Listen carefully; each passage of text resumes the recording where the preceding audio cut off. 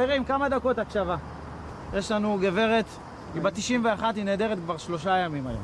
מאז תחילת השבוע אבד הקשר עם שרה נובו ברודר, תושבת חיפה בת 91. היא אוהבת להסתובב בים, היא עצמאית בדרך כלל, אבל כשאנחנו שלושה ימים לא יודעים מה קורה איתה, אז uh, כל האפשרויות קיימות. הם uh, אופטימיים, והלוואי וימצאו את אימא שלי. Uh, זה כבר uh, היום השלישי שאני לא מדבר איתה ולא רואה אותה ולא... ואני מפחד. ביום ראשון לא ענתה לטלפון שלה במשך כל היום. בנה הגיע לבסוף בחשש לדירתה ומצא אותה פתוחה. שרה לא הייתה שם.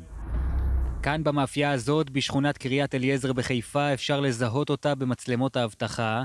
זו הפעם האחרונה שמישהו הבחין בה. איך שהיא מהמצלמות של החנות, היא יצאה החוצה, וזהו. אין המשך של זה. כל פיסת מידע יכולה לעזור ולהחזיר את אימא שלי הביתה, לבית שלה. תחילה התמקדו החיפושים בחוף הים של שכונת בת גלים, מקום אהוב על שרה. עכשיו מגיע מידע חדש ממישהו שחושב שראה אותה אתמול, וכעת גם הוא נבדק. פגשתי עכשיו כרגע מישהו, מישהו ששירת איתי בבסיס, אמא שלו גרה כאן, אשתו טוענת שראתה אותו אתמול בבת גלים. אני לא בטוח אם היא לנכון, כי אחרת אמרתי, אם נכון, אם היא ראתה אותה, אז למה לא ישר התקשר למאה, אני יודע מה. כל מי שמשתתף בחיפוש מודע לכך שהזמן הוא מרכיב קריטי. ככל שחולפות השעות והחיפושים נמשכים, פוחתים הסיכויים שיהיה להם סוף טוב. או שהיא ירדה במקום מסוים והיא פשוט שכחה איך לחזור על אחד מקווי המטרונית או משהו אחר.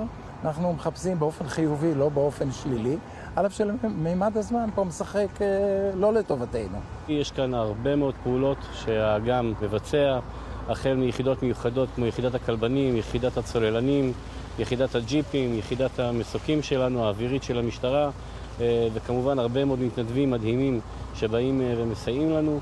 גם הערב הזה ימשיכו הכוחות לסרוק את רחובות חיפה ואת חופי הים, בתקווה למצוא את שרה במצב טוב. בני משפחתה משתתפים בעצמם בחיפוש ולא מאבדים את התקווה.